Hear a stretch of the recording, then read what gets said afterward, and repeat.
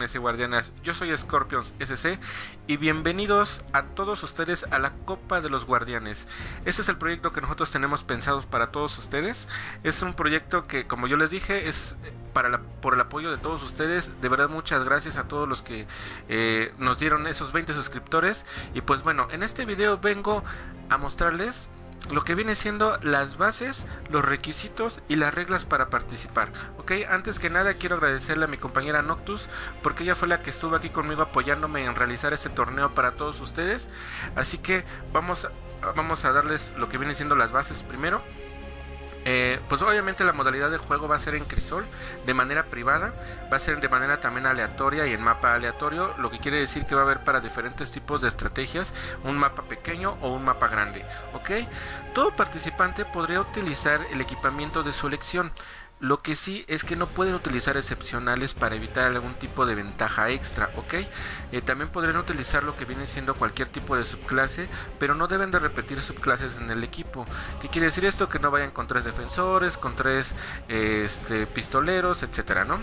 Entonces que haya variedad, ¿ok? Ahora se van a efectuar durante durante el torneo tres partidas por eliminatoria. Quien gane dos de las tres será, va, a ser la escuadra que va a pasar a la siguiente fase del torneo. ¿Ok? Entonces es un 2 de 3. ¿Ok? En cada partida va a estar un jugador mediador. Ese jugador mediador va a ser el que va a ser como el árbitro, digamos, ¿ok? Él va a validar a la escuadra ganadora, va a grabar la partida y por supuesto él tiene inmunidad, por lo tanto no debe de ser atacado por nadie, ni él de ninguna manera tampoco va a atacar a ninguno de todos ustedes, ¿ok? Ahora, la escuadra finalista se va a enfrentar en una partida en contra de sus mismos miembros. Esto es para poder sacar al ganador y él va a ser el acreedor del premio. ¿Qué quiere decir esto? Que pues bueno, vamos a jugar eh, por escuadras y ya cuando estén las dos escuadras finalistas de la escuadra que va, eh, digamos, la ganadora del todo el torneo, ellos mismos se van a enfrentar y van a, van a sacar a un único ganador de todo el torneo. Y los, eh, lo que viene siendo el segundo lugar va a ser de la misma manera. La escuadra que queda en semifinal se va a enfrentar con sus mismos miembros y de ahí saldrá el ganador del segundo lugar en el torneo. Ahora, por supuesto, yo sé que a muchos les interesa, saber qué es el premio, ¿ok? Bueno, pues el ganador del primer lugar va a recibir un código de Xbox de manera privada y confiable, ¿ok? Y a su vez un video exclusivo en el canal sobre todas sus partidas como reconocimiento por ser el campeón y el mejor de este torneo, ¿ok? El ganador del segundo lugar va a recibir un video en el canal únicamente como reconocimiento por su participación y desempeño. A su vez, vamos a felicitar a toda su escuadra porque también gracias a ellos fue que lograron llegar hasta ese punto. ¿Ok? Ahora algo muy importante, el periodo de inscripciones va a ser desde el día 14 de febrero al día 21 de febrero y los datos se van a enviar al correo que les estoy poniendo en este momento. ¿Ok? Ese correo es donde ustedes deben de mandar todos esos datos. ¿Ok? Ahora vamos con los requisitos, que es lo importante. Eh, ustedes deben de formar un equipo de 5 guardianes, 4 son los fijos y uno va a ser la reserva. Esto es por si alguno de, los sus miembros del equipo, el día que se organiza lo que viene siendo eh, la eliminatoria, él no puede estar presente, eh, pues que haya un reserva, pero él debe de estar registrado, ¿ok? Ahora deben de darle un nombre a su equipo. Ustedes pueden utilizar un nombre de su elección o si ustedes gustan pueden poner su nombre de un clan, como ustedes quieran y obviamente deben de enviar eh, por medio del correo al que les estoy mostrando la pantalla los gamer tag de todos los integrantes del equipo, el nombre del mismo y también deben de especificar un representante del equipo. Es con el que me voy a poner de acuerdo para que eh, organicemos qué día se va a realizar las partidas. ¿Ok? Ahora como ustedes saben pues de preferencia traten de ser nivel 40. Eh, va a haber modalidades en las que puede que estén activadas las ventajas de nivel, puede que no. Entonces deben de ir con su máximo de luz posible y pues obviamente el nivel es también importante. Entonces que sea nivel 40 por favor.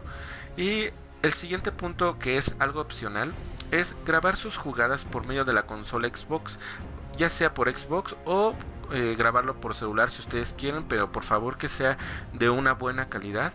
¿Por qué? Porque es para hacer lo que viene siendo dar a conocer su habilidad y compartirlo con la comunidad. Entonces es importante que, se vea bien para que ustedes me lo puedan enviar de igual manera al correo y yo pueda editarlo bien. ¿Ok?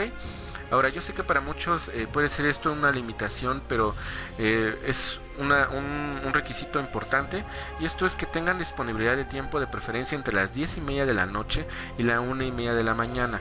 esto es por cuestión de la organización, entonces no importa el día, pero sí que sea en ese horario, ¿ok? obviamente es horario de, de México, ¿ok? Pues bueno, ahora vamos con lo último y lo más importante. Las reglas. Las reglas. Ustedes no pueden intercambiar miembros del equipo con jugadores no registrados. Por eso es importante que los cinco que van a registrar pues sean los únicos que pueden estar en ese torneo. No pueden meter a alguien más que no esté registrado. ¿Ok?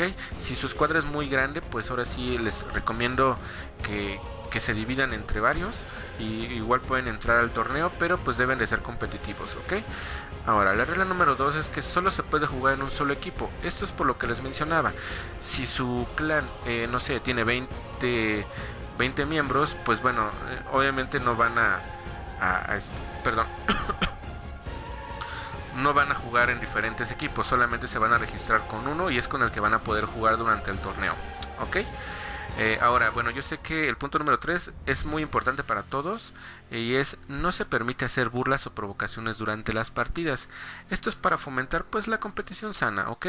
Yo sé que a muchos eh, les ha molestado, a otros no, que les bailen durante eh, el crisol. Entonces eso está prohibido, lo que quiere decir que no pueden hacer ningún tipo de gesto durante la partida, ¿ok? Eh, aquel que rompa esta regla va a eliminar automáticamente a toda su escuadra. Por eso es que vamos a ser severos respecto a esto. Así que tómenlo muy bien en cuenta para que no pase eh, ningún problema sobre esta cosa. El siguiente punto va a ser que si algún guardián es excluido por algún problema de red, su escuadra puede continuar en la eliminatoria, pero él no podrá incorporarse de nuevo a la partida. ¿Por qué? Pues porque es posible que vayan ganando o perdiendo y quiera, tengamos que detener o, volver a iniciar la, la partida y obviamente eh, a lo mejor tenga un resultado diferente. Entonces, si es excluido por algún problema de red, lo lamento, guardianes. Eh, se deben de quedar sus compañeros que son los que deben de defender aunque tengan desventaja. Deben defender su honor. Y una, una vez que lleguemos a la órbita, eh, ya se podrá unir. Mientras no. ¿Ok? Ahora, bueno, otro punto importante es no repetir las subclases en el equipo. Se busca variedad en las estrategias, entonces por lo tanto no que no vayan tres defensores, que no vayan eh, tres acróbatas del filo, que no vayan tres pistoleros, etcétera. Ok, deben de ser diferentes. Eh, solamente se podría, digamos, repetir eh, a lo mejor un personaje, o sea, por ejemplo, dos cazadores, titán, hechicero, pero que no vayan con la misma subclase. Eso es importante. Ok, ahora no deben de utilizar, como se los mencioné casi al inicio, no deben de utilizar ningún equipamiento de tipo excepcional, ok, ya sea en arma o en armadura. Ajá. El siguiente punto vendría siendo que no está permitido retroceder en ningún momento durante el combate. Si ustedes van ganando, obviamente no se van a, sí, perdón, si van ganando perdiendo, no se van a echar para atrás.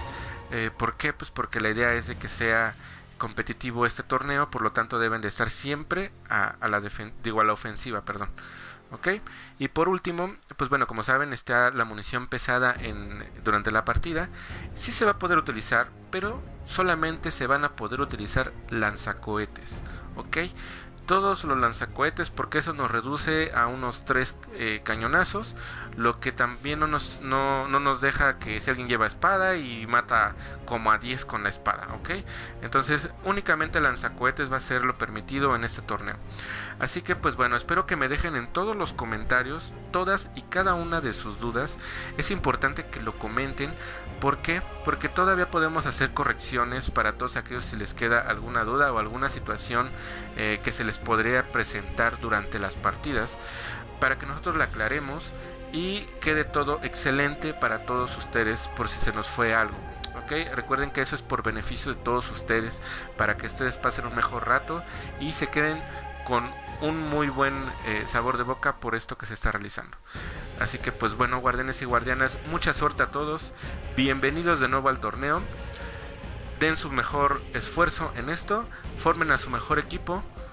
No se olviden de pasar un gran rato con todos sus compañeros, así que nos vemos en el siguiente video. Yo soy Scorpions SC y muchas gracias a todos por todo el tiempo que tomaron aquí en ver este video. Les mando un fuerte saludo, un fuerte abrazo. Gracias guardianes. Bye bye.